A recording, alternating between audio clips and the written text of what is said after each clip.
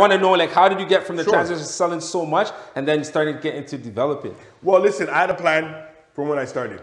So Brad J. Lamb was my predecessor. Okay. He was downtown. We, we don't have anything in common, but uh, in terms of like we don't talk or whatever, but I, I was able to watch him from a distance. Okay. And I respected a lot of the things that he was doing business wise. He had a, a brokerage hmm. on King Street. I had a brokerage on King Street. He was. He was a little closer down because I couldn't afford that space he was at. So I was at like Right, King he was and close to Bathurst, right? Near Yeah, he was at Bathurst, yeah, and yeah. I was at Strachan. So I was, Okay. I was like two, three Yeah, still blocks. close. Yeah, Yeah, yeah, I was yeah, like two, three blocks yeah, yeah, on the yeah. same side of the street. He uh-huh. had 3,000 square feet at 1,200.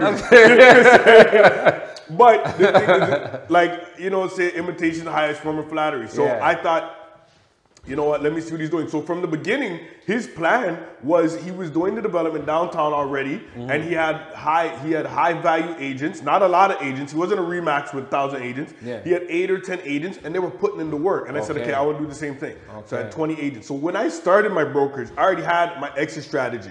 My exit strategy was always to do development. It was always the plan from day one. I want to sell these units. I want to bring in 20 agents who will be able to take over the clients, who will be able to bring people to sell my developments for me, which is what Brad does. He, he does have people outside, but he already had at least, he knew when he launched a project, oh, I'm going to sell 200 units because Yeah. I got these 10 agents Yeah. and they're each going to do 20. Mm. He already had them trained. He mm. trained them in his likeness and his image, and they went out and they did what they needed to do. So I thought it was I thought it was very good. So I saw that and I did the same thing. Now, mm.